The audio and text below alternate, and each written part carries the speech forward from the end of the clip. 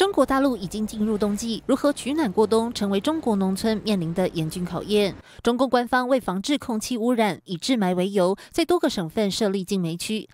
山西省于二零一七年实施天然气管道入村，开始强迫村民使用天然气取代烧煤烧炭，因此无论是取暖、做饭，必须由烧煤炭改成天然气。但是，由于天然气的价格较高，当地村民的主要收入来源多半以种粮打工为主，在经济条件不宽裕的情况下，使用天然气增加了开销，所以村民烧煤炭的情况一直存在。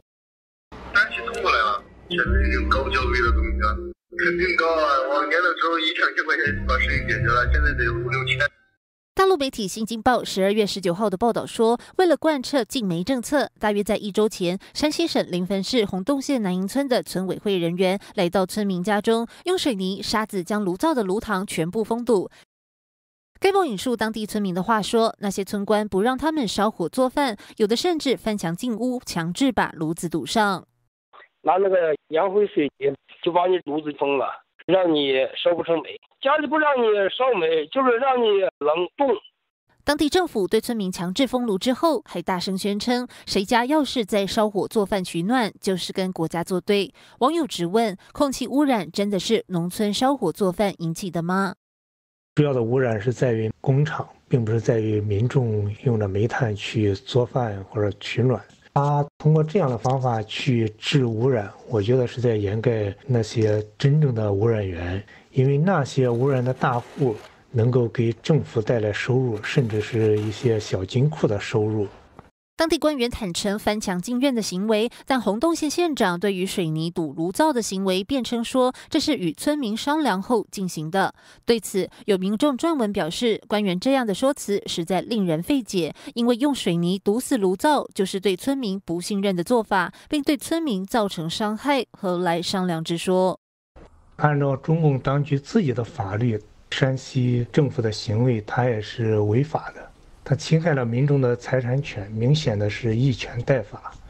中共以整治阴霾为由，管制民众用煤，把使用煤的地区划分为禁燃区和禁煤区。禁燃区使用的煤必须向国家指定的煤店购买，而这些煤的品质也无法获得保证。像我们那个地方吧，是燃煤区，就到国家指定的那个煤户点去买，就是卖给老百姓的那些煤吧，它的那个煤炭质量就不达标。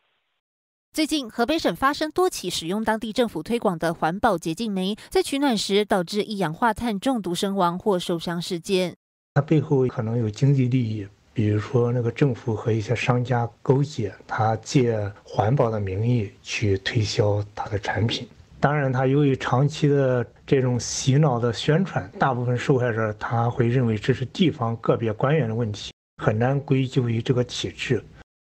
对于中共官员罔顾民生，以水泥封灶，不让人做饭取暖的行径，有人维文称封堵锅灶、断人口食，与砸人牌位、挖人祖坟一样，都属于严重的冒犯与恶行。